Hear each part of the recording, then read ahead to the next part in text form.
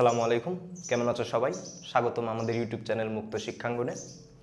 তো গত লেকচার ভিডিওতে আমরা দেখেছি বিশ্বগ্রাম বিশ্বগ্রাম কি, কাকে বলে এবং বিশ্বগ্রামের যে মৌলিক আইডিয়াটা সেটা আমরা কিছুটা জানার চেষ্টা করেছিলাম।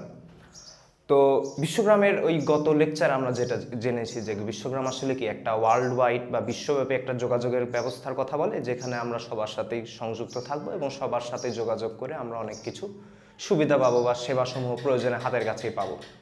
ঠিক আছে? কিন্তু কথা হচ্ছে সেই বিশ্বগ্রামের যে ধারণাটা দেওয়া ছিল, সেটা আসলে উনিশশো ষাট সালে। অনেক আগের ধারণা, কিন্তু বর্তমান যুগে আমরা তথ্য প্রযুক্তির যে উন্নয়ন হচ্ছে, সেখানে আমরা কি দেখি? যে আসলে পাঁচ বছর আগে যে টেকনোলজি ছিল, এখন টেকনোলজির সাথে সেটা আকাশ পাতাল তফাৎ। ফলে হয়েছে কি, আমাদের জীবনের প্রতিটা সেক্টরে আসলে কমিউনিকেশন থেকে শুরু করে শিক্ষা, বাসস্থান তারপরে হচ্ছে যাতায়াত, যোগাযোগ সব কিছুরই আসলে একটা আমূল পরিবর্তন আসছে। এবং এই পরিবর্তনগুলো সবগুলো আসলে গ্লোবাল ভিলেজের সে ধারণাটার সাথে ইম্প্যাক্ট ফেলছে এবং গ্লোবাল ভিলেজের সাথে এগুলো ওতপ্রোতভাবে জড়িত। তো এরকম কয়েকটা এলিমেন্ট নিয়ে আমরা আলোচনা করব। গ্লোবাল ভিলেজের ধারণার আমাদের যে মূল তিনটা কি পয়েন্ট ছিল, অর্থাৎ টাইম তারপরে দ্বিতীয় হলো দূরত্ব। আর তৃতীয় হলো যে আমাদের সহজলভ্যতা।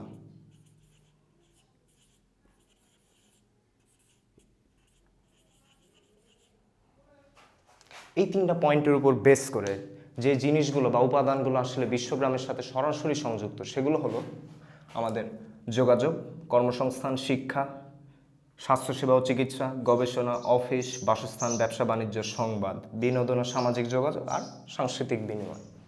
তো এই ভিডিওতে আমরা এগুলো সম্পর্কে একটু বিস্তারিত জানার চেষ্টা করব, যেগুলো বিশ্বগ্রামের ফলে এগুলোতে কীভাবে আমাদের উন্নতি হয়েছে, কীভাবে সুবিধাগুলো এসেছে। এখন চলে আসি আমাদের প্রথম পয়েন্টে দ্যাট ইজ যোগাযোগ।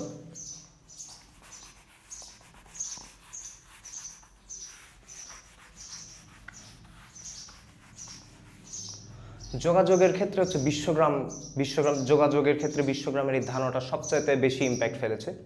কারণ কি? আমাদের তো যোগাযোগ আগে ছিল অনেক কষ্ট, কষ্টকর, যেমন আমাদের কোথাও যোগাযোগ করতে হলে অনেক সময় লাগতো চিঠিপত্র, তারপরে আসলো কি? টেলিফোন। আর এখন তো সবচেয়ে বেশি ইন্টারনেট যেটা আমাদেরকে আরও ফাস্ট অনেক গতি দিয়েছে। তো যোগাযোগের ক্ষেত্রে আমরা যেমন তিনভাবে আমরা যোগাযোগ করতে পারি, তিনভাবে সিগন্যাল দিয়ে। যেমন আমরা সরাসরি কথা বলে, যেটা আমরা ভার্বাল বলি। তারপর আরেকটা হচ্ছে সংকেত পাঠিয়ে, যেটা হচ্ছে আমাদের সিগন্যাল হতে পারে যে কোনো আর তৃতীয় আরেকটা হলো লিখিত বা রিটেন তো এর ভিতরে আমাদের উল্লেখযোগ্য যেমন টেলিকমিউনিকেশনস অর্থাৎ যেখানে আমরা কথা বলি মোবাইল টেলিফোন ফ্যাক্স তারপরে আর একটা আছে হলো আমাদের সিগন্যাল তো যেটা আমরা মোর্স কোড হতে পারে বা অন্য যে কোনো লাইট সিগনাল ইত্যাদি অনেক রকম থাকতে পারে। আর আরেকটা গুরুত্বপূর্ণ বিষয় হলো ইমেল ইমেলের মাধ্যমে আমাদের আসলে কি, যোগাযোগ ব্যবস্থাটা অনেক সোজা, সহজ হয়ে গিয়েছে যেমন আমরা সাথে সাথে ইনস্ট্যান্ট যে কোনো জায়গায় মুহূর্তের ভিতরে এক প্রান্ত থেকে অপর প্রান্তে ইমেলটা পাঠাতে পারি, গুরুত্বপূর্ণ অফিসিয়াল ওয়ার্ক এর মাধ্যমে করতে পারি বা বিজনেস ডিল যেটা আমাদের ইমেলের মাধ্যমে সুবিধাটা দিয়েছে। তারপর আর একটা হলো যে ভিডিও কনফারেন্সিং টেলিকনফারেন্সিং এর ফলে হয় কি ভিডিও কনফারেন্সে যা কনফারেন্স কনফারেন্সিংয়ে আমরা একটা রুমে বসে বা বাসায় থেকেই বিভিন্ন দেশ বা কয়েকটা অফিসের বড় বড় কর্মকর্তা বা বিভিন্ন কর্মচারীদের সাথে আমরা একই স্ক্রিনে তাদের সাথে ইন্টারাক্টিভ অর্থাৎ রিয়েল টাইম যেটা বলে যে একই সময় একে অপরের সাথে ওপাশ থেকে কথা বলতেও পারব, আবার শুনতেও পারব। এরকম একটা কি বলব যে, সম্মেলনে আমরা যোগাযোগ মানে অংশগ্রহণ করতে পারি। তারপরে আমাদের আছে হলো অডিও কনফারেন্সিং যেটাতে আমরা কি করি? সেম জিনিস জাস্ট আমাদের অডিও থাকবে, কোনো ভিডিও থাকবে না। তো দেখাই যাচ্ছে যে আসলে যে যোগাযোগের ক্ষেত্রে এই বিশ্বগ্রামের এই ধারণাটা আসলে কতটা ইম্প্যাক্ট ফেলেছে। এখন চলে আসি দ্বিতীয় পয়েন্ট অর্থাৎ কর্মসংস্থান। আধুনিক তথ্য প্রযুক্তির উন্নয়নের ফলে যে সেক্টরটা যে সেক্টরগুলো আসলে অত্যন্ত সম্ভাবনাময় তাদের ভিতর অন্যতম হলো এই কর্মসংস্থান। যেমন আসলে কি, এই তো এই গ্লোবাল ভিলেজ বা তথ্য প্রযুক্তির এই উন্নয়নের ফলে আমাদের যেহেতু সারা বিশ্বে একটা কানেকশন তৈরি হয়েছে, এর ফলে আসলে কি, যত আমার কানেকশন যত থাকবে, আমার কর্মসংস্থানের সুযোগটাও কিন্তু আসলে ততটা বৃদ্ধি পাবে। তো এর ফলে হবে কি, যেমন ধরো আমি বাংলাদেশে বসে অন্য অন্য প্রান্তের সাথে কি কাজ চলছে বা অন্য কোনো অফিসের সাথে যোগাযোগ করতে পারি, ইত্যাদি। তো কর্মসংস্থানের যে যে কয়েকটা সেক্টর আসলে আমাদের জন্য আরও উন্মুক্ত হয়েছে এবং আরও ইজি হয়েছে, তাদের ভিতর কয়েকটা আছে, যেমন প্রথমটা হলো আউটসোর্সিং বা ফ্রিল্যান্সিং এই শব্দটার সাথে আমরা অনেকেই পরিচিত যে ঘরে বসে আয় করা, টাকা ইনকাম ঘরে বসেই তো এটা আসলে আউটসোর্সিংটা আসলে কীভাবে সম্ভব হয়েছে? আউটসোর্সিং মূলত যেটা বলতে যেটা আমরা বুঝি, যেমন কোনো অফিসে বা কারও একটা বিশেষ কাজ দরকার, কিন্তু সেই কাজটার জন্য অফিসে কোনো পদ নেই। অথবা পদ নেওয়ার কোনো প্রয়োজন নাই। যেমন আমার দশটা ডাটা এন্ট্রি করতে হবে, এটার জন্য আমাদের আলাদা ডাটা অ্যানালাইসিস বা ডাটা এন্ট্রি করে যে এরকম কোনো কর্মী নিয়োগ দিতে হতে পারে, কিন্তু দেখা যাচ্ছে যে দশ দিন পর এই কাজটার আর চাহিদা থাকবে না। ফলে আমরা কি করতে পারি? এখন ওই কাজটা যে পারে, আলাদা একজন লোক অফিসে নিয়োগ না করে সেই কাজের আমি বিবরণটা অনলাইনে দিয়ে দিলাম, যে আগ্রহী সে কাজটা আমাকে করে দিল, আমি তাকে কিছু পারিশ্রমিক দিলাম, এতে আমার কাজটাও হয়ে গেল এবং সেও কিন্তু দেখো ঘরে বসেই কাজটা করে দিতে পারল।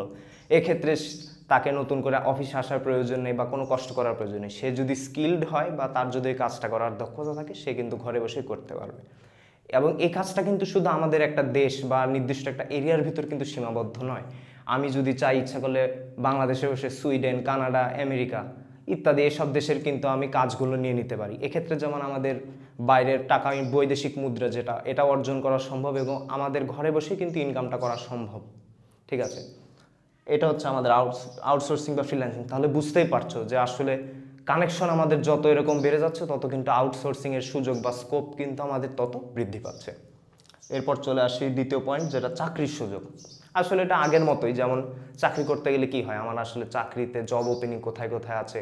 কোথায় কোথায় আমাদের সিভি ড্রপ করতে হবে বা কোন কোন জায়গায় আমাদের খোঁজ নেওয়া প্রয়োজন? এগুলোই তো আগে আমাদের সন্ধান করতে হয়। তো ইন্টারনেট বা এসব থাকার ফলে এখন আমরা কি হচ্ছে? বাংলাদেশে বসে যেমন বিশ্বের বিভিন্ন জায়গায় আমরা দেখতে পাচ্ছি চাকরির সার্কুলার কোন কোন জায়গায় দেওয়া হচ্ছে বা কোথায় কোথায় আমরা সিভি ড্রপ করতে পারি। বাংলাদেশ থেকে শুরু করে বিশ্বের বিভিন্ন দেশেই, বিভিন্ন শহরেই কিন্তু আমরা সে চাকরির খোঁজগুলো নিতে পারি, সে চাকরির জন্য অ্যাপ্লাই করতে পারি।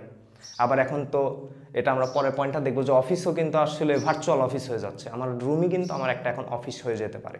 যার ফলে হবে কি আমি দেশে বসেই বাইরের কোনো কোম্পানির একজন স্টাফ হয়ে যেতে পারি। তারপরে চলে আসে উদ্যোক্তা উন্নয়ন। এটাও বর্তমানে একটা বাজওয়ার্ড যে এখন সবাই কিন্তু আসলে অবশ্যই জিনিসটা পজিটিভ যে সবাই আসলে এখন উদ্যোক্তা হতে চায় বা নিজের একটা ব্যবসা করতে চায়। তো এক্ষেত্রে যেমন কি, ব্যবসা করা তো করতে গেলে আমাদের একই সাথে যেমন যে প্রোডাক্ট নিয়ে আমরা ব্যবসা করব বা যে কাজটা করব সেটা সম্পর্কেও যেমন আমাদের জানতে হবে এবং আরও অন্য অন্য এক্সট্রা জিনিস যেমন অ্যাকাউন্টিং হিসাব নিকাশ, তারপরে হচ্ছে মার্কেটিং লিডারশিপ ইত্যাদি অনেক কিছু জানতে হয় এবং এগুলো সম্পর্কে জানতে হলে আমাদের যে তথ্যগুলো পাওয়া যায়, এগুলো কিন্তু আমি ইন্টারনেটেই সহজে পেয়ে যেতে পারি। এবং এর ফলে হয় কি, আমাদের উদ্যোক্তা হওয়ার একটা সুযোগ থাকে। আবার শুধু তাই না, আবার উদ্যোক্তা হতে গেলে কিন্তু অনেক কানেকশন দরকার হয়। ডিলারশিপের জন্য, তারপর হচ্ছে ডিস্ট্রিবিউশন অনেক নেটওয়ার্কিং চেইন থাকতে হয়। এগুলো কিন্তু আমাদের ইন্টারনেট বা এই যে কানেকশনগুলো থাকার ফলে এটাও কিন্তু আমাদের অনেক সুবিধা হয়, আমরা বাইরের সাথেও কিন্তু এই যোগাযোগগুলো করতে পারি। তাহলে, দেখো, তাহলে কিন্তু বোঝা যাচ্ছে যে এই আধুনিক তথ্য প্রযুক্তির যুগে এই কর্মসংস্থানটা আমাদের জন্য কতটা সুবিধা হয়েছে কত সম্ভাবনাময় হয়েছে এবং অনেক লোক, আগে যেখানে একটা অফিসে একটা পদের একটা সীমাবদ্ধতা থাকতো বা কাজের, এখন কিন্তু অনেকটাই সেটা কমে গেছে। এখন কিন্তু প্রতিনিয়তই কর্মের কিছু না কিছু ক্ষেত্র তৈরি হচ্ছেই। এখন আসি আমাদের তৃতীয় পয়েন্টে, যেটা হলো শিক্ষা। বলা যায় যে আধুনিক এই যে শিক্ষা পদ্ধতি, এটা গড়ে উঠেছে আধুনিক গ্লোবাল ভিলেজের ধারণা থেকে। আধুনিক তথ্য প্রযুক্তির ফলে বর্তমান যুগে আসলে শিক্ষা গ্রহণ এবং শিক্ষাদান, এই দুইটা জিনিসই অত্যন্ত সহজ হয়ে উঠেছে।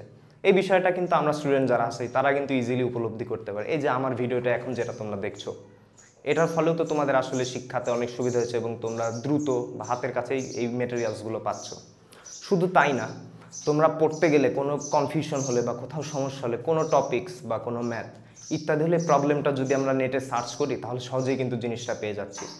এবং একটা টপিক্সের উপরে একাধিক ম্যাটেরিয়াল তৈরি করা, ফলে আমাদের যেটা ভালো লাগে, যেটাতে আমাদের স্বাচ্ছন্দ্য বোধ হয়, সেটাতে আমরা গ্রহণ করতে পারি, সেটা আমাদের কাছে অত্যন্ত বিন্যস্তভাবে রিপ্রেজেন্ট করা হয়, যার ফলে আমাদের সময়টা অনেকটা বেঁচে যায় এবং আমাদের কি হয় যে, জিনিসটা গোছাতে বা কনসাইজ করতে অনেকটা সুবিধা হয়ে যায়।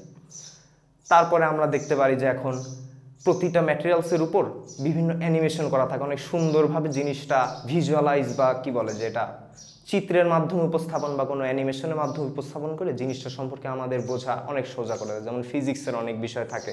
ম্যাথমেটিক্স বা অ্যাস্ট্রোনমিক্যাল যেটা মহাকাশের ব্যাপার যেগুলোতে আমাদের কি বলব যে যে দেখা সম্ভব হয় না, কিন্তু আমরা ঘরে বসে সেটা অ্যানিমেশনের মাধ্যমে দেখতে পাই।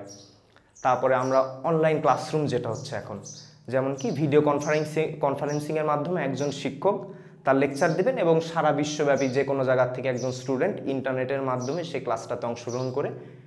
এটা একটা সেমিনারের মাধ্যমে সে ক্লাসটা গ্রহণ করতে পারে। এতে হয় কি, আমাদের যেমন কোনো ডিস্টেন্স কোনো সমস্যা হবে না টাইম কোনো সমস্যা হবে না এবং আমরা একই সাথে জিনিসটা কিন্তু গ্রহণ করতে পারছি শিক্ষা। তেমনিভাবে শিক্ষকদেরও কিন্তু সুবিধা হচ্ছে পাঠদানে। যেমন শিক্ষক যেমন এটা এইমাত্র আমরা বললাম ভিডিও কনফারেন্সিং অডিও কনফারেন্সিং অথবা শিক্ষক কিন্তু এখন অতি দ্রুত সময়তেই তার হচ্ছে কোনো পরীক্ষার প্রশ্ন বলো বা কোনো ম্যাটেরিয়ালস বা শিক্ষার কোনো নোট বলো ইত্যাদি তৈরি করতে অত্যন্ত দ্রুত তৈরি করে সেটা অনলাইনে দিতে পারে এবং আমরা সেগুলো ইজিলি হাতে হাতে পেয়ে যাচ্ছি। ফলে আমাদের সময় যেমন বেঁচে যাচ্ছে, তারপরে খাতা দেখার ক্ষেত্রে বা প্রশ্নপত্র মূল্যায়নের ক্ষেত্রে। আগে যেমন আমরা এসএসসি রেজাল্ট দেখতাম বা রুটিন দেখতাম, এটা হয় পেপারে প্রকাশ হতো বা সবার কাছে ইন্টারনেট থাকতো না। বলে আমার ফলে আমাদেরকে একটা বিড়ম্বনা সৃষ্টি হতো। কিন্তু এখন কি? আমাদের পরীক্ষার রেজাল্ট থেকে রেজিস্ট্রেশন থেকে শুরু করে রেজাল্ট দেখা সবই আসলে এখন অনলাইন ভিত্তিক হয়ে যাচ্ছে, ঠিক আছে? তারপরে আমরা যেসব পরীক্ষা দিই এমসিকিউ পরীক্ষা, এগুলো কিন্তু এখন আধুনিক মেশিনের মাধ্যমে কিন্তু এই ওয়েমারগুলো দেখা সুবিধা হয়ে যাচ্ছে। তারপর ছাত্রকে মূল্যায়ন করা, একজন ছাত্রকে ইজিলি আমরা এই যে আধুনিকে যে কম্পিউটারের মাধ্যমে বা ঘরে বসেই যে টেস্টগুলো আছে, এগুলোর মাধ্যমে কিন্তু আমরা একজন ছাত্রকে মূল্যায়ন করতে পারি। এছাড়াও বিভিন্ন বিশ্ববিদ্যালয়ের অনলাইন কোর্স থাকে। এগুলো আমরা ঘরে বসে, এক প্রান্তে বসে ফ্রিতেও অথবা কোনো কোনো জায়গায় আমাদের অল্প সামান্য টাকার মাধ্যমে কিন্তু আমরা এই কোর্সগুলো করতে পারি এবং সেগুলো আমাদের একটা সার্টিফিকেট প্রদান করে, যেগুলো আমাদের জব পেতে বা অন্যান্য আরও হায়ার স্টাডিজের ক্ষেত্রে অনেকটা সহায়ক। ঠিক আছে? তাহলে এ থেকে কিন্তু আমরা বুঝতে পারছি যে আধুনিক এই যে গ্লোবালাইজেশন বা এই বিশ্বগ্রামের এই ইমপ্লিমেন্টেশনের ফলে শিক্ষা ব্যবস্থাটা কতটা ইজি হয়ে গেছে এবং শিক্ষা গ্রহণটা আসলে আমাদের আগে এখন কোনো বাধা নাই। এখন জাস্ট আমাদের ইচ্ছা হলে আমরা কিন্তু যে কোনো কোর্স বা যে কোনো বিষয়ের উপর বিস্তর শিক্ষা লাভ করতে পারি। এখন যে পয়েন্টটা নিয়ে কথা বলব, অর্থাৎ স্বাস্থ্যসেবা ও চিকিৎসা, এটাও মানে আধুনিক এই যে তথ্য প্রযুক্তির উন্নয়নের ফলে এই সেক্টরটাও কিন্তু অনেকটা অনেকটা বলতে অনেক উন্নতি উন্নতি করেছে এবং এর ফলে হচ্ছে কি আমাদের গড় আয়ু বা আমাদের লাইফ এক্সপেক্টেন্সি অনেকটা বেড়ে গেছে। কারণ কি? কারণ দেখো, আগে আমাদের অসুখ বিসুখ হতো, ডাক্তারের কাছে যেতে হতো। দেখা যাচ্ছে যে সে অসুখের পর্যাপ্ত তথ্যটা আমাদের কাছে থাকতো না। বা নতুন কোনো রোগের ফলে বা চিকিৎসা বা ডিভাইসের অভাবে আমরা সেই চিকিৎসাটা বা সার্জারিগুলো করতে পারতাম না। বা তৎক্ষণাৎ কোনো অন্য কোনো অভিজ্ঞ ডাক্তারের যদি পরামর্শ প্রয়োজন হতো, এটা সেটা আমরা সাথে সাথে পেতাম না। কিন্তু আধুনিক তথ্য প্রযুক্তির উন্নয়নের ফলে কী হয়েছে দেখো? আমাদের রোগ নির্ণয় কিন্তু অত্যন্ত সহজ হয়ে গেছে। এখন আধুনিক ডিভাইস, এমনকি এখন এমনও ক্যাপসুল আবিষ্কৃত হয়েছে যেগুলো ক্যাপসুলটা আমরা কি বলব, সেবনের মাধ্যমে আমাদের ভিতর ক্যাপসুলটা যে আমাদের ভিতর যে ইন্টেস্টাইন আছে, নালি আছে এগুলো দিয়ে ভ্রমণ করার সময় এর ভিতরের ছবিগুলো কিন্তু বাইরে পাঠিয়ে দিতে পারবে। ঠিক আছে, এর ফলে হবে কি, আমাদের অভ্যন্তরীণ যে কী কী সমস্যা হতে পারে, এগুলো আমরা ইজিলি কিন্তু পরীক্ষা করতে পারি। আধুনিক ইসিজি মেশিন বা আরও অন্যান্য ডিভাইসের ফলে আমাদের এখন এমআরআই স্ক্যান, তারপরে হচ্ছে কি বলব, আধুনিক স্ক্যানার ইত্যাদির ফলে আমাদের রোগ নির্ণয় করাও কিন্তু সোজা হয়েছে এবং এর ফলে অত্যন্ত সময় কিন্তু আমরা এই তথ্যগুলো পাচ্ছি। এছাড়াও আমাদের এই রোগীর যে রেকর্ডগুলো বা বিভিন্ন জাতিগোষ্ঠীর যে কী কী সমস্যা হতে পারে বিভিন্ন রোগের বিবরণ সহ তার চিকিৎসা কী, এগুলো কিন্তু এখন আধুনিক স্মার্ট ডেটাবেজে সংরক্ষিত আছে এবং সেগুলো কিন্তু ডাক্তার চাইলে ইজিলি অ্যাক্সেস করতে পারেন। ফলে হয় কি, আমাদের কোনো রোগ যদি আমাদের সঙ্গে জানা না থাকে বা নতুন কোনো রোগের ইজিলি সেগুলো সকলের কাছে আপডেট করে দেওয়া যেতে যেতে পারে। ফলে আমাদের অল্প সময় কিন্তু একটা নতুন রোগ ছড়ালে সেটার মহামারীটা ধারণ করতে পারে না। সেটার আগেই চিকিৎসা বা কাউন্টার মেজার কিন্তু নেওয়া সম্ভব হয়ে যাচ্ছে। এর ফলে নতুন আর একটা যেটা গুরুত্বপূর্ণ জিনিস, সেটা হলো টেলিমেডিসিন টেলিমেডিসিনের ফলে আমরা কিন্তু এখন, যেটা আমরা জানি যে দূরত্বটা কিন্তু এখন আসলে আমাদের কোনো দেশ বা এরিয়ার ভিতর সীমাবদ্ধ না। আমরা চাইলে কোনো ডাক্তার, অভিজ্ঞ ডাক্তারের পাশে যিনি কিনা ঠিক আমাদের একদম অপর প্রান্তে থাকতে পারেন বিশ্বের।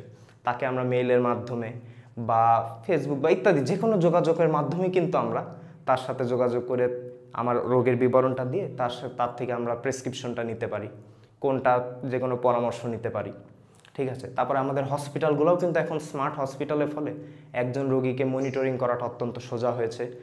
তারপরে অটোমেশনের ফলে কোন রোগীকে কখন কোন ওষুধ দিতে হবে। এটাও কিন্তু একটা এখন রুটিনের মাধ্যমে একটা নিয়ন্ত্রিতভাবে দেওয়া সম্ভব হচ্ছে, যার ফলে আমাদের, কি বলব, যে অহেতুক রোগীর যে বিড়ম্বনাগুলো বা হয়রানিগুলো, এগুলো অনেকটাই কমে এসেছে।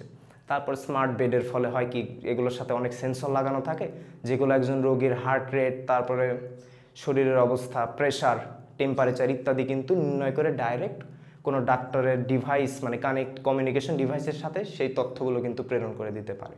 এর ফলে হয় কি, দেখো একজন রোগীকে একজন ডাক্তার ইচ্ছা করলে একাধিক রোগীকে একসাথে মনিটর করতে পারে এবং অত্যন্ত কন্ট্রোল ওয়েতে বা কি বলব, একদম সুদক্ষ উপায়ে। যার ফলে হয় কি, রোগীকে ভুল চিকিৎসা বা বা অকাল মৃত্যু বা ভুল চিকিৎসার কারণে যে আমাদের দুর্ঘটনাগুলো হতে পারে, সেগুলো কিন্তু অনেকটাই বাঁচানো সম, অনেকটাই রোধ করা সম্ভব। তাহলে বোঝাই যাচ্ছে যে আধুনিক যে আমাদের যে তথ্য প্রযুক্তির যে উন্নয়ন, সেটা চিকিৎসা পদ্ধতিকে একটা নতুন মাত্রা দিয়েছে এবং যার ফলে আমাদের কি জীবনযাত্রা অনেক সহজ করেছে এবং রোগের হওয়া থেকে বরং এখন জিনিসটা রোগকে প্রতিরোধ করাটাও অনেক, প্রতিরোধ করার ক্ষেত্রে অনেকটা গুরুত্বপূর্ণ প্রভাব রাখছে। এখন আমরা আলোচনা করব বিশ্বগ্রামের আরেকটা গুরুত্বপূর্ণ এলিমেন্ট গবেষণা নিয়ে। তো গবেষণা করতে হলে আমাদের সর্বপ্রথম প্রয়োজন হলো তথ্য। অর্থাৎ যে জিনিসটা নিয়ে আমরা গবেষণা করতে চাই সে বিষয় নিয়ে কোনো গবেষণা হচ্ছে কিনা বা বিশ্বের বিভিন্ন উন্নয়ন, উন্নত দেশের বিশ্ববিদ্যালয়গুলোর ল্যাবরেটরিতে সেই গবেষণাগুলো হচ্ছে কিনা বা কোনো মাল্টি ন্যাশনাল কোম্পানি থেকে কোনো গবেষণা হয়েছে কিনা যেটা থেকে আমরা নতুন কোনো আইডিয়া জেনারেট করতে পারি, এগুলো আমাদের তথ্য প্রয়োজন হয়।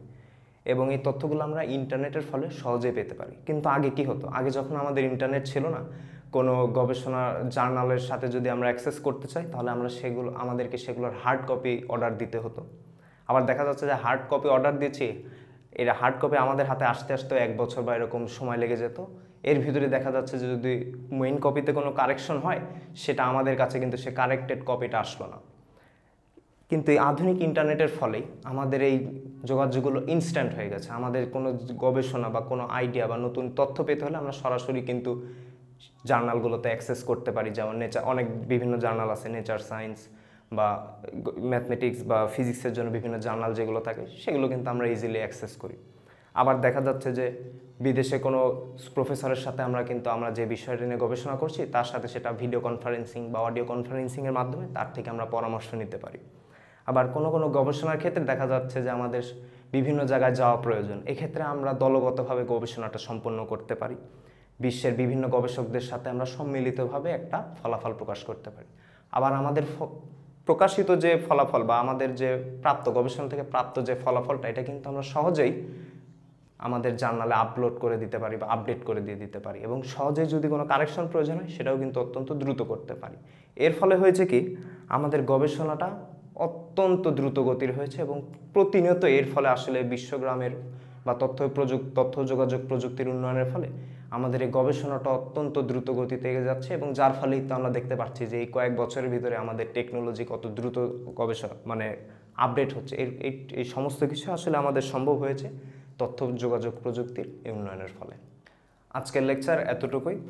বিশ্বগ্রামের পরবর্তী যে এলিমেন্টগুলো সেগুলো পরবর্তী ভিডিওতে আমরা ওগুলো নিয়ে বিস্তারিত আলোচনা করব। তোমাদের কোনো মূল্যবান মতামত বা পরামর্শ থাকলে অবশ্যই কমেন্টে জানাবে। সুস্থ থাকো, ভালো থাকো, সাথে থাকো। ধন্যবাদ সবাইকে।